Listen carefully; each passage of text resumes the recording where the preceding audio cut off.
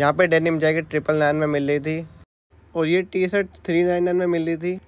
तो आज मैं आया था जूडियो में, अंदर जाते ही देखता हूँ ये कूल सी डेनिम शर्ट ट्रिपल नाइन में मिल रही थी। और ये हुडी एट नाइन नाइन में मिल रही थी, काफ़ी अच्छी क्वालिटी की थी। आगे जाके देखता हूँ तो ये शर्ट भी ट्रिपल नाइन में मिल रही थी।